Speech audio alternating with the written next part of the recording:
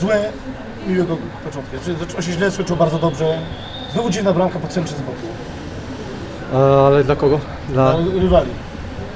No, po wrzutce, po wrzutce tam znowu nie, nie przykryliśmy do końca zawodnika drużyny przeciwnej, no i jakoś jest tak, że to dotknie piłkę z dorzuconej z boku, spod linii, no to prawie, że zawsze trafia do naszej bramki.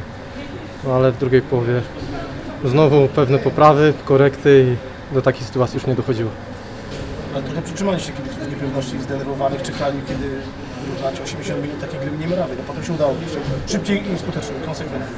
No wiemy, że ta gra nie była dzisiaj dobra. No ciężko się grało w pierwszej połowie.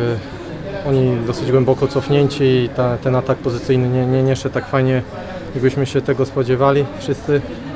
No ale kibice chyba są przyzwyczajeni, że pierwsza połowa często bywa tutaj niemrawa, ale w drugiej potrafimy narzucić swój styl gry, walczyć do końca i często zakończyć dobrym wynikiem meczu. Jakaś gruba feta była w szatni, bo pan Piotrek wrócił cały mokry na konferencję prasową. Czym tam polewaliście się?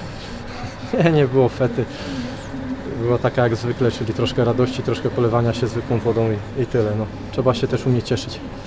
Mateusz, ty wykonałeś chyba interwencję meczu przy tym golu na 1-1, gdybyś sfaulował. Gdyby sędzia gwiznął faul na Jankowskim, była czerwona kartka, gdybyś go puścił, było 0-2.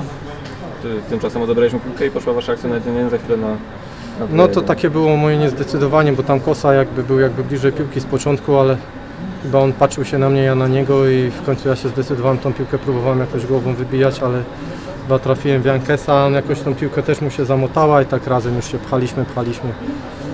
Gdzieś tą piłkę wyłuskałem. Na szczęście tam sędzia falu nie gwiznął, bo no nie wiem, mógł gwiznąć dla nas, może mógł gwiznąć dla nich, ale zachował sędzia zimną krew, akurat z tego poszła kontra.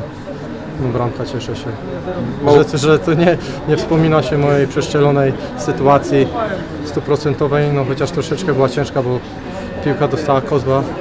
Próbowałem ją za mocno uderzać, no później jeszcze starałem się gdzieś tam szukać swojej szansy z głowy, no. No nie udało się w tym meczu, cieszę się, że mnie ta piłka szuka, jakoś te sytuacje stwarzam. No niektórzy napastnicy nieraz nie stwarzają, a ja mam, miałem dwie w meczu, więc się cieszę.